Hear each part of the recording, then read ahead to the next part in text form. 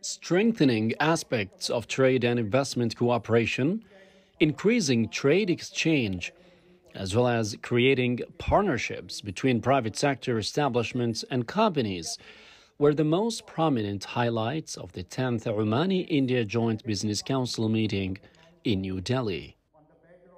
India and Oman share a very long uh, and old relationship, whether it was friendship or business. Um, it's an opportunity for all the businesses to understand the Indian market, uh, knowing that Indian market is very advanced when it comes to different sectors, medical sector, uh, tourism sector, or whether it is technology sector.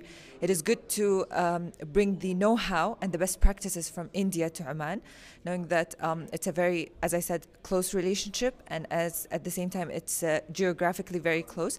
So the transfer, the transformation, or uh, the sorry, the transfer of uh, the knowledge and the transfer of uh, physical uh, knowledge is also um, very easy between these two countries.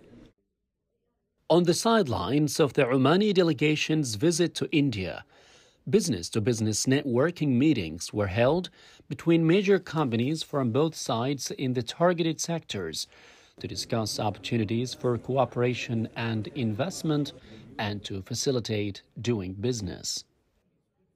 India and Oman enjoy a very good relationship in terms of political, diplomatic, as well as business. And as we uh, we heard that we have more than 5,000 years of relationship in terms of uh, business development as well as trading.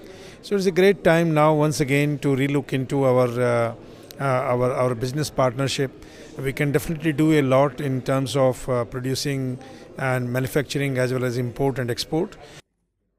The Sultanate of Oman and the Republic of India are seeking to explore more available investment opportunities that will contribute to enhancing economic cooperation to a level that meets the ambition and reflects the level of bilateral relations between the two friendly countries.